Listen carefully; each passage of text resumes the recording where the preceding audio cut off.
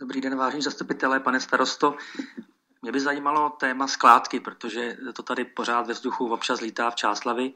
Zajímalo by mě, jestli má město nějakou garanci od AV, zda eh, sem budou vozit teda ty kaly nebo nebudou, protože vždycky proběhne v médiích nějaká informace, že ne, respektive, že ano, pak se to dementuje a chci se zeptat konkrétně, jestli město má nějakou garanci smluvní nebo nějakou písemnou dohodu, něco takového, co by občany uklidnilo a řeklo jim, je to v pořádku, protože mě eh, k tomu vede myšlenka ta, že samozřejmě vaše skládka, respektive naše skládka, je taková věc, že to je komplexní skládka. To znamená, už z toho samého podstaty, podstaty věci eh, se se může vozit cokoliv, protože to samozřejmě společnost AVE eh, prezentuje, tak je jasné, že ta skutečnost, že sem ty se vozit nebudou, je poměrně dost taková nestoprocentní. Takže by mě zajímal názor zastupitelů, protože zastupitelé by se měli samozřejmě také vyjadřovat k názorům lidí a vždycky se to tak jakoby přejde, řekne se, udělá se jedno tiskové prohlášení, to, to vyjde na Svoboda Info nebo někde jinde a občané mají být klidní. Tak se chci právě zeptat, aby se k tomu vyjádřili všechny strany, myslím zastupitelů eh, politické, aby to, bylo, aby to nebylo jenom pan starosta, ale všichni ostatní, jak se na to dívají, tu skládku, to řešení toho problému těch kalů ostravských, což je největší ekologická zátěž v republice tak jenom bych chtěl vyjádření každé politické strany, to znamená všichni zastupitelé, je tady asi šest stran, tak bych rád slyšel názory vždycky jednoho představitele té strany, jak se k tomu staví, k těm kalům, jaké má informace hlavně taky, protože tady je informační takový šum, takže máte prostor. Děkuji za, za udělení prostoru.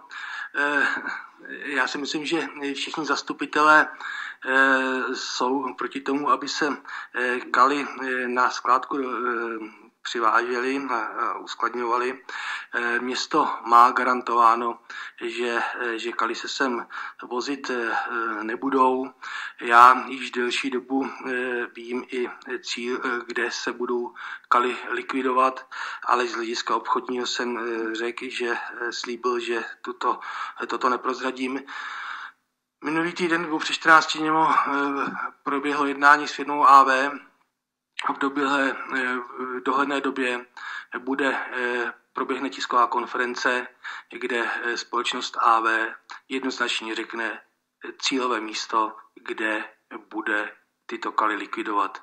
Garantuji vám, že místo Čáslav to nebude. Nějaké, máte teda písemnou dohodu? Chápu to tak, je to možnost tu dohodu teda zveřejnit, pokud máme být transparentní pro obyvatele, abychom věděli, na čem jste se teda konkrétně dohodli?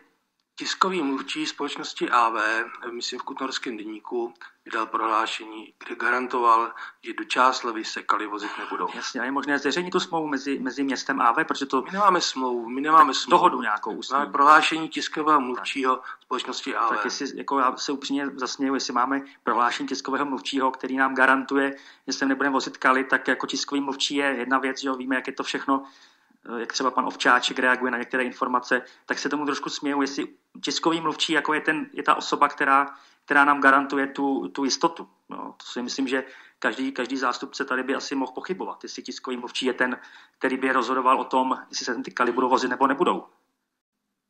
Já vám garantuju, že kaly se sem vozit nebudou. Se to zveřejní ta zpráva, teda, pokud je ta dohoda. Ať je to písemně, ať, ať všichni obyvatelé tedy ví. Žádná, samozřejmě žádná dohoda není. Jako jak, eh, jaká bych, dohoda by mohla já být? Já bych poprosil teda ostatní zastupitelé, jak si k tomu vyjádří, jestli mají informace, jestli se s někdo vůbec o tom baví někdo s vámi, paní zastupitelé, prosím vás. Vy se k tomu nevyjadřujete, necháte pana starostu, tak řekněte taky nějaký názor ostatních stran, které tady se samozřejmě v Čáslavě snad eh, nejsou tady jenom ČSSD. Tak já bych chtěl slyšet eh, jako ostatní názory stran, tak se jako snažte. Já nevím, já si myslím, že uh, jsem tady krátce v Čáslavi, a myslím si, že občanská, občanská záležitost tady, prostě se ptám jako občan, tak si od ostatních zastupitelů taky nějaký názor. Vy tady na mě koukáte všichni, pan starosta něco řekne, tak uh, já vím, že to je možná nepříjemný. Já jsem taky nejsem nadšený, že tady ta skládka je. Tak uh, jenom chci vědět, uh, třeba mě zajímalo jako váš názor na to nějaký. Jestli to teda je ta garance toho tiskového mluvčího, mě teda nestačí. Nevím, jak vám. Tak dobře, Pan Ježím Blažej chce promluvit. Eh, se chtěl taky připojit, já vůbec nevím, ten, já se omlouvám, já jsem Já jsem neslyšel vaše jméno, vaše, vaše jméno nic, je to je takový trapný trošičku, ale...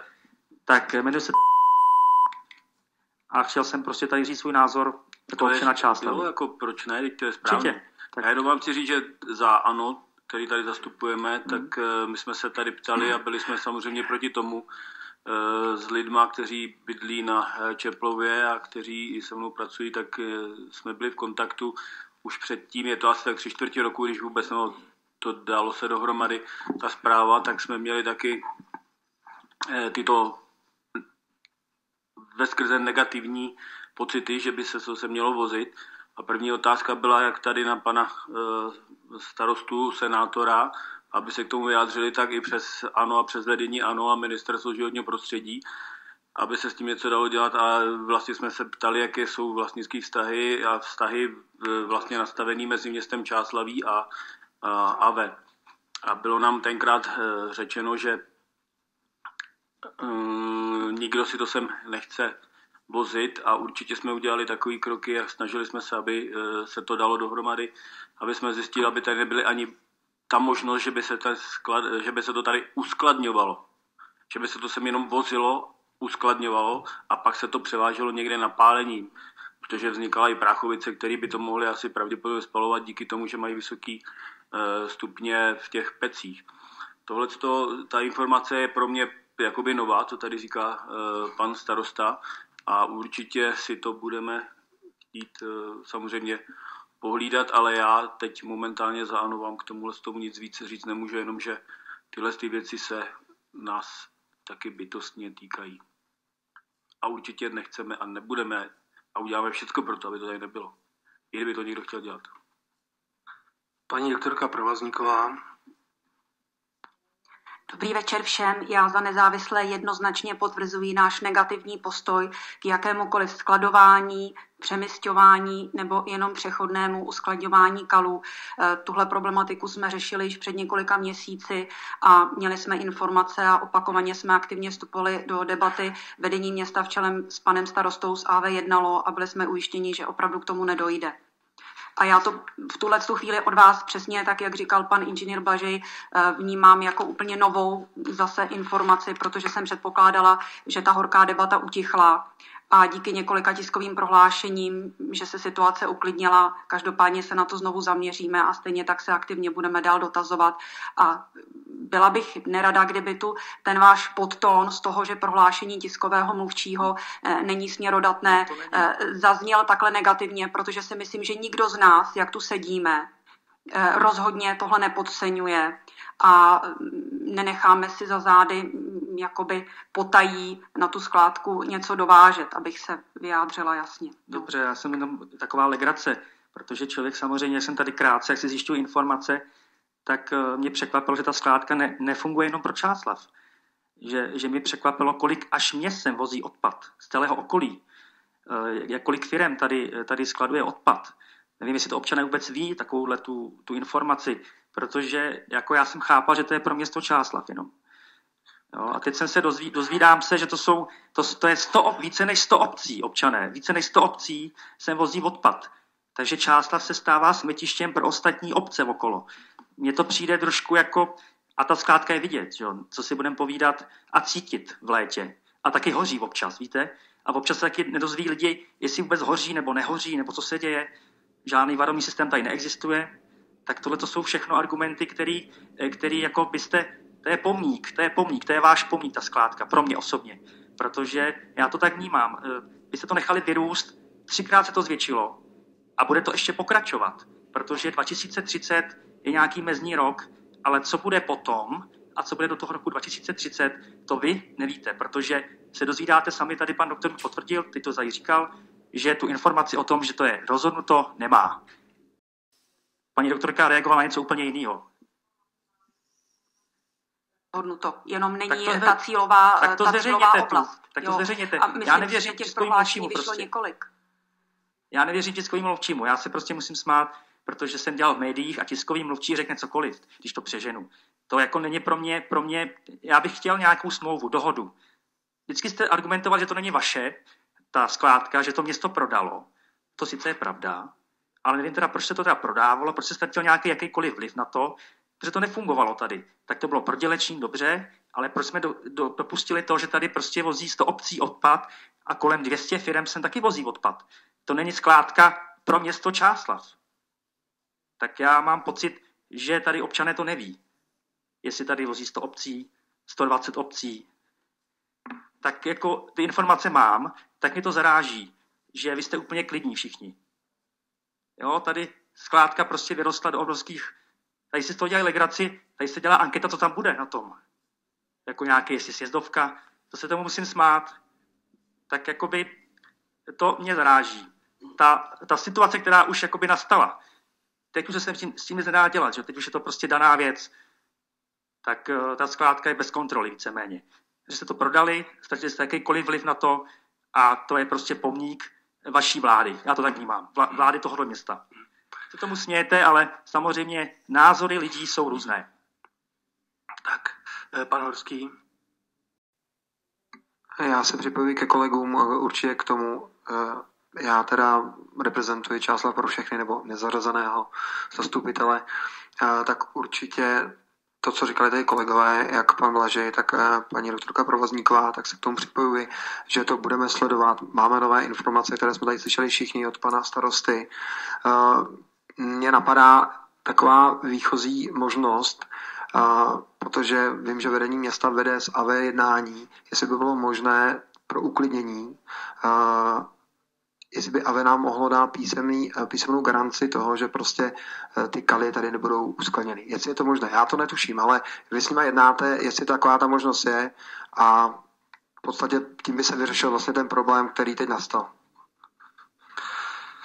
Jak jsem řekl, eh, ta tisková konference by měla být v dohledné době, kdy oni tu cílovou stanici těch kalů zveřejní. Já si myslím, že teď už to nemá smysl.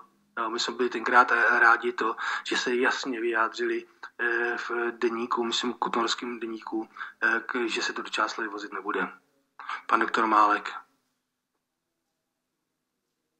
Já snad jenom stručně, abych eh, navázal, protože se omlouvám, že jsem si eh, nevšiml, že eh, se za nás tři nezařazené přihlásil dřív kolega Horský, takže to nechci suplovat. V podstatě nemám co víc nějak tak říci, krom toho, že myslím si, že Tady v tomto směru se zastupitelé napříč jako všemi uskupeními eh, chovají konzistentně a myslím si, že ten, ten názor, jako my sdílíme ty, ty obavy a, myslím si, že není úplně fér jako říkat, že to je jako pomník. Eh, Když si tady prostě tahle skládka vznikla, eh, Myslím, já jsem tady jeden z nejdelších nebo nejdéle působících zastupitelů, ale ani já jsem nebyl u toho původního, což teď neříkám eh, u toho původního rozhodnutí, že ta skládka tady vznikne.